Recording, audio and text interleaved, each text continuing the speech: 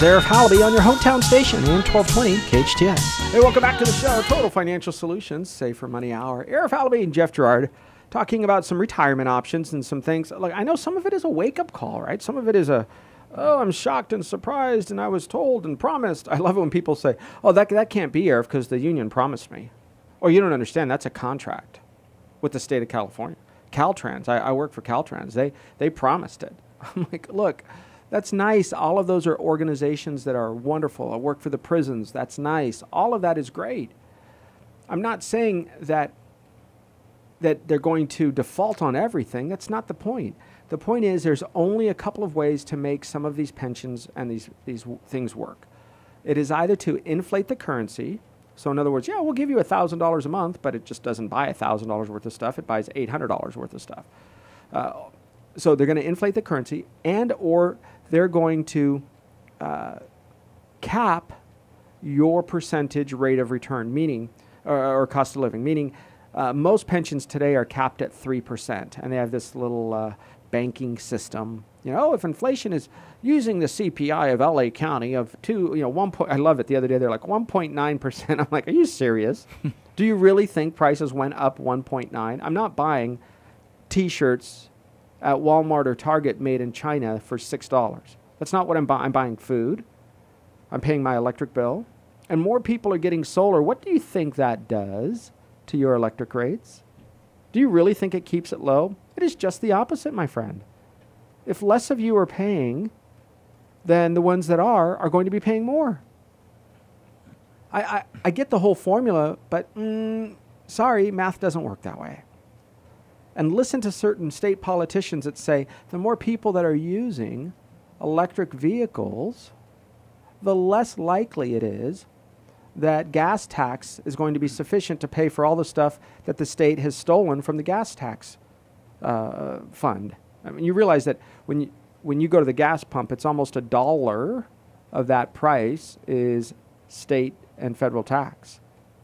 Do, uh, do you understand that? The reason that when you go across the border to Arizona, you see nearly a dollar reduction is because you don't have all the California state tax. And we don't use that to pay for our highway patrol and our Caltrans and road re- improvements. We use it for all sorts of other of the politicians' uh, games. So these dollars, when less people are filling up at the pump every single day, right? One car, two cars. Soon there are fewer people paying into the gas tax. Where do you think that money will come from? And then when the state says, uh oh, we have to put in money for the state pension system XYZ, do you understand it's the pie is if I take a bite of this side of the pie, it affects your pie because you're eating from the other side. So I want you to start setting aside dollars every single month. And how you're going to do that is every time you receive a pay raise, I want half of it to go into your bank account that's fine. Save it. Goes into your checking your savings for emergencies. And the other half increases your retirement contribution. If you do that every single year, and your spouse, if, you, if your spouse works too, the opportunity of having that number grow exponentially over time is huge. And it's a big deal because this develops a pattern of increasing your savings because if you're hoping to have you know overtime or bonuses or pay raises and you already know that half of that you're not going to live on, but you're going to bank that, that's an incredible thing. It's going to boost your savings uh, by by exponential numbers, like Arif's saying. The other thing we want you to, and we encourage people to do, is to look at something, and it's kind of in the same vein, but it's called automatic escalation. And what we mean by that is every year, if you have, uh, let's say, a retirement plan at work or a certain percentage of your income that you put into individual retirement accounts, increase that by 1%.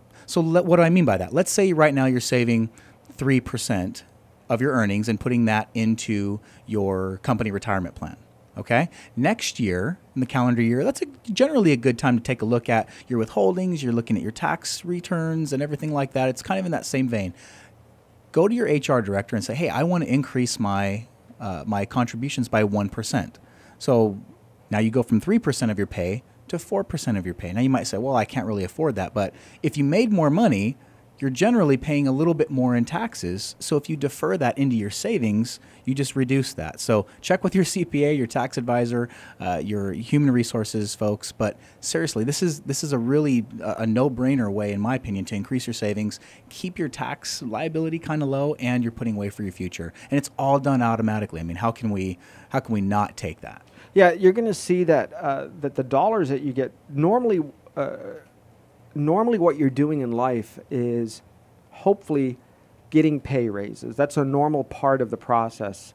Uh, now, not always. Sometimes cost of living is nothing, one or two percent, especially if they buy into this silly 1.9 percent cost of living from LA County. Right. Look, I'll tell you what. Go buy a gallon of gas. Today it's low. I love it. It's much lower. But over the last six years, it's gone up nearly double, or more, three times in some cases. But you know, buy a gallon of gas, buy a, a gallon of milk, uh, buy some cheese and some bread, and you know the things that you're going to eat. Take a look at tires for your car, amortize that over a year and whatever, and put that all into a bucket and say, okay, here's my snapshot of what it costs for me to live, for electricity, for uh, you know water bill and all that, and then see if a year from now that has gone up 1.9 percent. Chances are, over time, you're going to see it goes up. And here's the number, really it's about 5 to 8%. When we have spikes of inflation, which I think is coming because there's so much money in the system, as soon as the banks are loosening up, and we're already seeing it, uh, my opinion is they're going to loosen up these the restrictions. And once they do, those dollars flat. You're already seeing it: three percent down, zero percent down, VA loans, FHA, and starting to you know get money circulating again. It's going to drive down interest rates a little bit, maybe, but certainly, guys, you're going to see inflation spike. You're talking about gas and gallons of milk. I was thinking about this not too long ago. When I started driving, gas was about 99 cents a dollar a gallon. That was a wow, while back. You're not that old. And I don't remember what milk was back then, but it wasn't it wasn't cheap. Uh, now, you know, we're talking about a little bit of a lower environment for prices on gas. Milk has not dropped. I used to think, oh, when gas was four and five, almost five dollars a gallon, I was paying for premium uh, Four ninety nine. I remember going, oh my gosh, how are we ever going to get out of this? And milk was what it was, about three something a gallon, and gas has dropped, has it not? But did the price of milk drop? Right. It hasn't. So do you think that they're going to pass those savings on to you? Oh, it doesn't cost us as much to get the milk to the stores anymore. I used to think those two were interconnected, but they're not. Maybe they are. I don't know. But then why hasn't the price of milk come down or anything else in that respect? And and I think you realize that there is a cost to drive that milk to the plant. Uh, the machinery usually runs on electricity or coal. Y- you know, we have shut down. Uh, the, the facts of what the president have done, has done is made it so that coal plants nearly are impossible to work. In fact, he said he was going to do that. He said, We're going to bankrupt you if you are going to attempt to open up a coal plant. And incredible. He said the federal government would do that. That's like a weapon. How do you do that? So no coal, which means energy, which means cost of energy goes up. Instead of becoming a more productive place, we're restricting that. And, and when manufacturing facilities require electricity or gas or energy, uh, you're going to see costs increase. So I want you to, to begin saving through that. The second way I want you to begin saving when we come back is going to be involve debt. So I think you're going to be surprised. We'll cover that when we get back. In your place for news, talk, and information, I'm Arif Halaby on AM 1220 KHTS. Welcome back to the show, Total Financial Solutions Safer Money Hour. Safe as in safe from fires, safe from your money being blown up if the market drops. How do we make sure that happens? Well, certainly a fire extinguisher can help if you're worried about that. But but when it comes to keeping your money safe from the market, you have to do a couple of things, in my opinion. Number one, um, only have what's in the market that you do not need for 10, 15, 20 years, and that you can afford to lose half of it by the time you need it. Meaning, we don't know if 10 years from now the market's going to be up or down. Okay, t- yeah, I had it in there for 10 years. Well, at the 10 year mark, we're in another recession, or the market has dropped, or another Enron, or who knows what. Really, because it's not about the market coming back. We've seen it go high, we've seen it go low. It's it's right what Eric's saying. When do you need it? That's Yeah. what matters. Because the market could be on a high. You're like, yeah, you see that? I win. Really, but you're still working for another 10 or 15 years. And then when it goes down, I mean, we've seen it. People cannot retire. Yeah, it, it changes a lot uh, about what you, I think, what you want uh, in, in, that safety part of the world. So, so here are some of the steps where if your retirement account is in the market, and that's a good thing, if that's what you want, how do you take advantage of it? Number one, the in my opinion, by putting money on that monthly contribution or, or every two weeks, you're buying when the market is low, you're buying when it's high, but it kind of spreads out the risk a little bit. It's called dollar cost averaging. Okay, you're spreading out that risk, you're reducing your, your, your overall cost often. That is a benefit to you when you are working. If you have old money, stray 401ks, if you will, those old retirement accounts, they go into the market and they are assessed a fee, and then it goes up, and you're charged a fee, and then you lose money, and you're charged a fee, and it goes up, and you're charged a fee. Meaning you're not taking advantage of the reason to have it in there, which is when the market is low, you're buying more shares. So in the old accounts that are sitting there in buckets, we might be able to help you with that. If if you want some some or all of that in a safer place, we might be able to help with that. Um, the the part where you're going to contribute money is involving debt works like this. Once you pay off a car, usually, or a student loan, or another type of debt, if yesterday, let's say the payment is $400 a month. If yesterday you lived without that 400 because it went out to your, your car payment, and tomorrow the car is paid off and you still have that 400 a month, I don't want you to just, woohoo, we have 400 to spend. I want you to take that, put it into your retirement accounts. Now, maybe half in your retirement account and half in your checking or savings, right? Because I want emergency accounts to be six, seven, eight, ten months, depending on your job, uh, of your expenses. And the way you do it is you kind of build it up slowly. But that $400 a month, if it was going out the door for debt, tomorrow it can now be part of your assets. And and we're always so worried about, oh, what's my tax bracket going to be later on? What, what's it going to look like if I have to pull money out of my retirement accounts? How can I afford that? We think about that long term, yet we carry long term debt into retirement when we might have a fixed expense. So I love where Eric's going with this. You pay off a debt you get that $400 freed up. Now that's you're free to do what you want with it. Pay off other debts maybe, and then build up a, a, a greater surplus or a greater padding there. But I love putting money into your retirement account and in your savings, not just paying down debt, because you've heard me say this probably a, long time ago, is the race to zero. We're all paid off on our debt side, but we have not built up anything on our savings side. Yeah. That's, that's not good for you either in retirement. Uh, so, so let's walk through this a little bit. Let's say you have a Honda your, your great cars, they're going to probably last you more than three, four, five years. You know, right. they generally can last 10, 12 years. You might have a child at college at, at uh, whatever, let's just say Cal Lutheran or something. You now have a child at college, you're going to be paying off that school, you're going to be paying off the car. Once that's paid down to zero, the car's probably going to still run. Your child hopefully will finish college and about the same time the car's paid off. I want you to still keep spending that money, but you instead of sending it to the college or to the car payment, you're now going to put it in your savings account. And it might seem like you're on that little bit of a treadmill, but eventually you'll be paid off. And eventually that treadmill lets you get off and you have a bucket of dollars off to the side. So if you do need to buy a new car, fine, you do that. Or if your son now needs to go to college, fine, you can pay for that as well. But it's a process, right?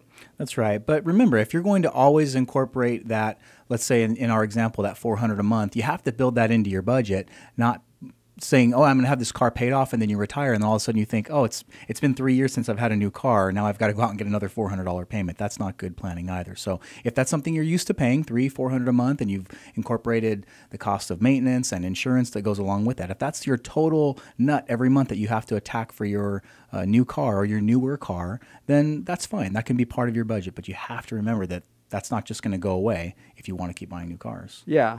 Look, I was guilty of that. I was that guy that always had a new car every three, four years, and partly because I drove 200, 250 miles a day, right? Wow. I mean, I mean, at one point it was 90 miles one way just from my house to work, let alone any other errands or whatever else I used to do. So, so there was uh, thousands of miles, in some cases a month, being put on my car. So I had to buy a car was my justification, safety, and wow, wow, wow. So you may be in that position, but just kind of think ahead a little bit that a car is a tool.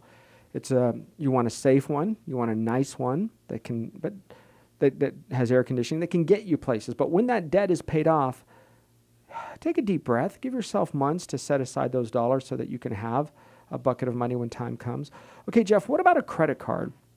Right? For a lot of people, they have credit card debt, they've been paying on it. When that's paid off, if you were used to making a $300 a month credit card payment and it was going to five places and then four and three and two, when that last credit card is receiving that $300 a month and you are now debt free, I want that 300 to do the same thing. That's right. Now, doesn't mean go right out and go spend more money and go acquire new debt. This is that time to take a breather and realize that you have now freedom with 300 extra dollars. Now, if you're going to use debt as uh, or a credit card for instance as another way to spend the money that you already have coming in that's fine. I'm saying don't carry the long-term debt where you're going to say okay i i, I bought a you know two or three thousand dollars worth of you know goods or whatever have you. You bought a tv and now you want to pay that off over time. Uh, that's a different way but if you have a credit card that you're going to say i like the points or the perks that come with it or the Right. mileage you swipe that card for your expenses that you've decided to do, to do ahead of time that's part of your plan and then you pay it off every month there's no uh, interest accrued there and it's just a different way like i said to spend your own money And, and that gives you that extra, I guess, that extra benefit of using those dollars later on. Keep your eye out every once in a while. Uh, you know, one political party that decides to tax everything they throw into one of the budgets. We're now going to tax perks. We're going to tax miles. We're going to tax uh, the the benefits that you receive on your on your uh, credit card charges. So that could end up affecting you. Uh, just be careful about that. All right, we're going to come back in just a minute as we get to the next part here. Uh, saving money, we use debt a little bit, we use pay raises a little bit. What are some of the next steps that you can use to kind of get a jump start? To make sure retirement is there and that you're in control of as much of it as possible.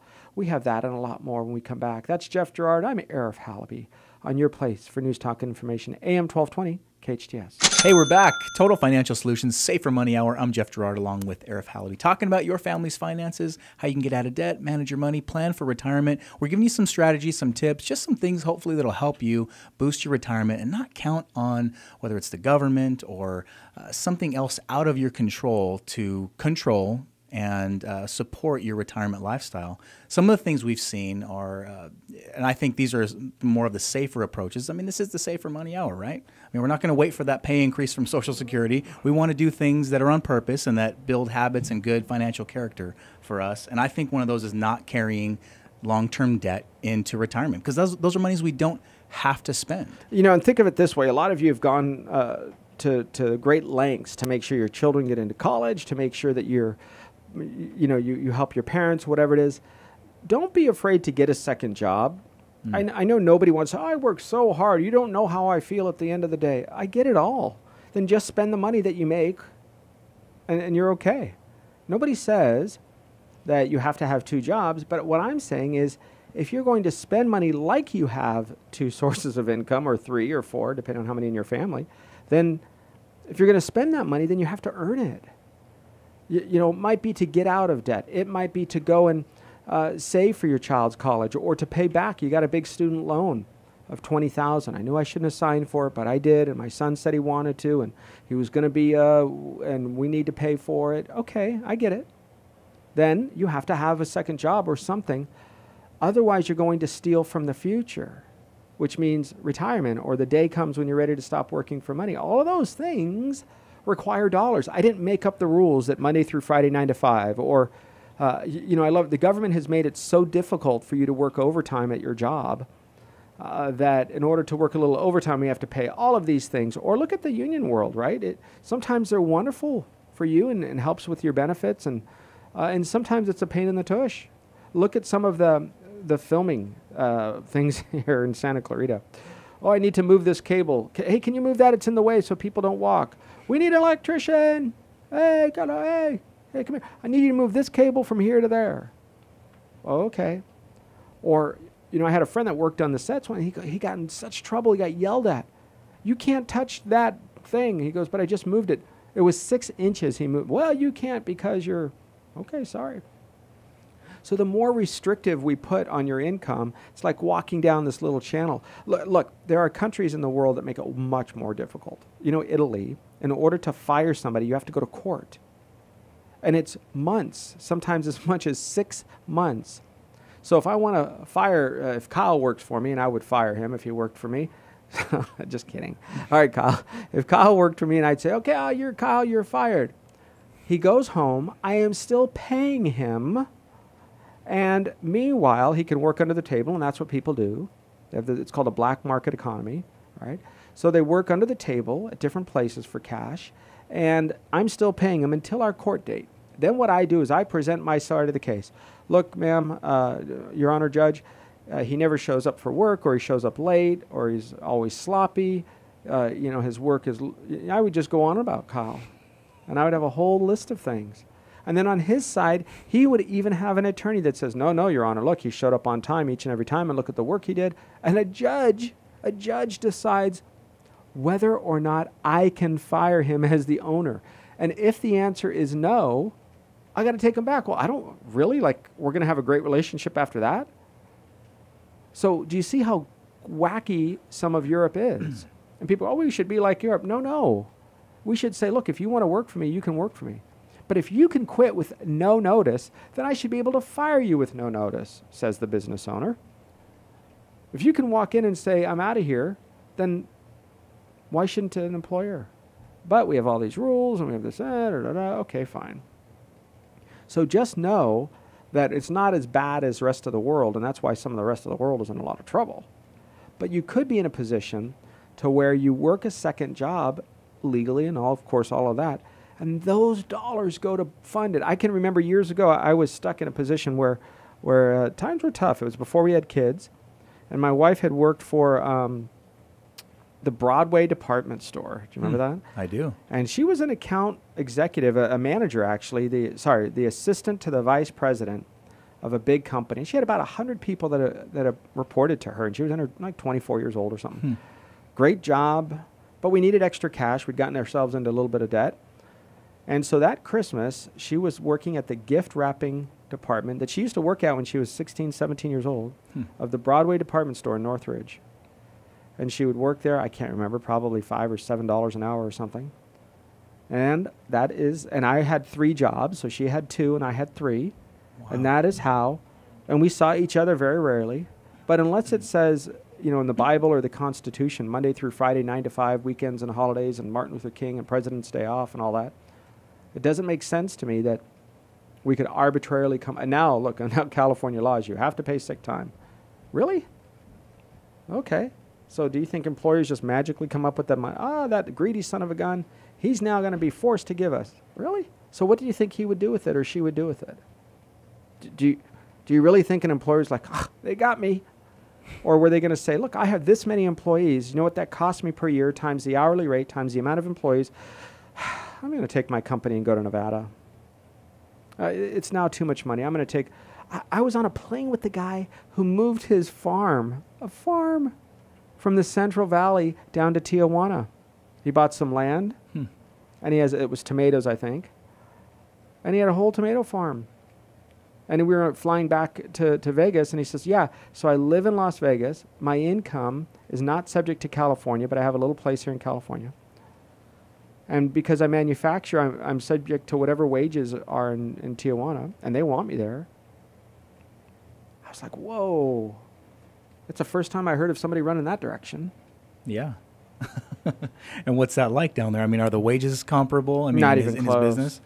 yeah, he pays people a little bit more, uh, maybe a lot, but certainly more than he he that they would earn in another job there, but a lot less than he would pay here because here you have lawsuits, you have Right. workers' comp, certainly you have OSHA rules that keep the employees safe. Sure. So there you're subject to the employer, hopefully having some integrity about his job and making sure Mhm. people wear, you know, the goggles and the hearing protection if they're working with machinery and Sure. you know you have to do some training, but but maybe not everybody does. You minus mandates, regulation, state tax, all those other things. EPA Yeah. Baloney. Every time you turn around, they're trying to Yeah, save it's a no frog. people, or, people leave. Yeah, I, I can see that happening. If you take a look today, California is so broke that it is taxing everything. Instead of saying we've got to find ways to reduce taxes and reduce taxes, it's going just the opposite. Because we have a one party state, a one party system in this state.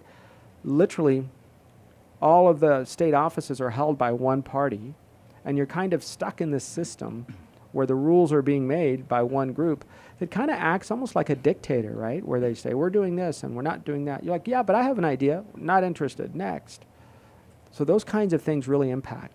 Your retirement, if you're not going to retire here in the state of California, means you don't have to pay income tax here in the state of California.